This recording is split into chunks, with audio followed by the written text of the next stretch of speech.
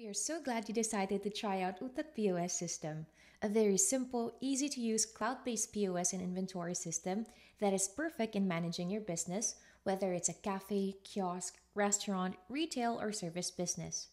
Once you've set up, you'll be able to see your sales, inventory, and staff attendance all in real time. Let me show you how to create your free demo account. First, enter the Utak app once you've downloaded it from Play Store or the App Store. It should bring you to a login or a sign up page where on the left side, you'll see a button called Start Free Trial. Click here to register, then enter the details you're asked for. Once done, click on Sign Up to create your account. You should now be viewing the interface of Utak Register tab where you can punch in the items being ordered on your store. As you can see, the account has been populated with sample items under different categories.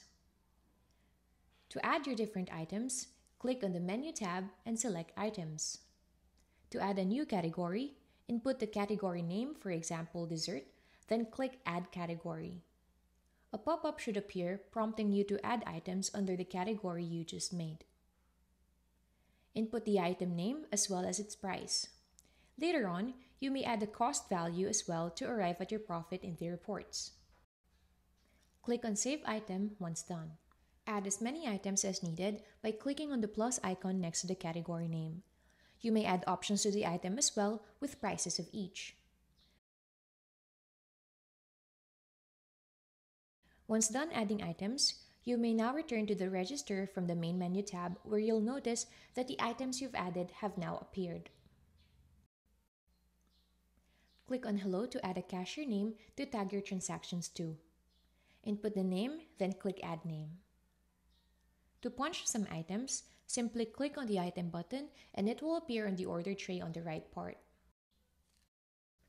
Once all orders have appeared, you may click on the denominations multiple times to input the amount received from the customer. The system will now auto-compute your change. You may also type in the amount received as needed.